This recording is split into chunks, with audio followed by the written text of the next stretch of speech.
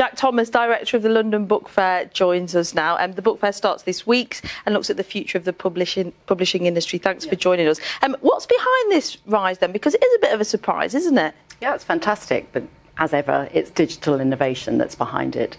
You know, 85% of us have got smartphones. Everyone's able to plug into a book, as you say, uh, on the go, or wherever, whenever and whenever. But who are these new consumers?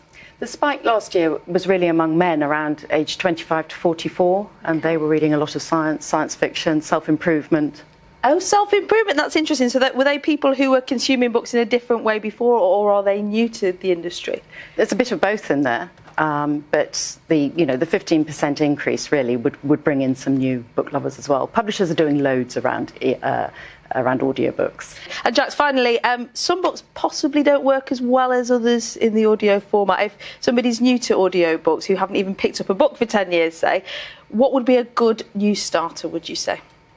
I'm looking forward to Joanna Trollope's An Unsuitable Match because she'll be at the London Book Fair tomorrow and Samantha Bond is reading her book. Fantastic. But otherwise, always go back to an old favourite, Harry Potter, okay. read by Stephen Fry. We, we've had a, an excerpt.